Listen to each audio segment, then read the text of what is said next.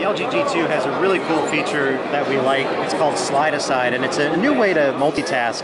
And it can help you park applications off to the side uh, while you work on other things and bring them back with a gesture.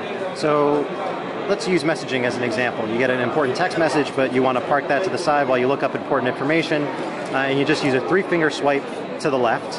And then let's say you want to look up an important address that's related to a, a meeting that you're going to. You open up the apps, the, the Maps app, and then you can easily park that to the side as well. And then the internet, just use another example. You can use up to three applications and then if you want to bring them back at any time, you just swipe in from the left side with three fingers again, and you can see all the applications are just waiting there. And LG says that they're paying close attention to not have these running fully in the background. So it should save you power. This is something that we haven't seen from any other smartphone before. And this is in addition to the Q Slide feature that's there for running applications on top of your desktop. So the G2 gives you two fairly unique ways to multitask.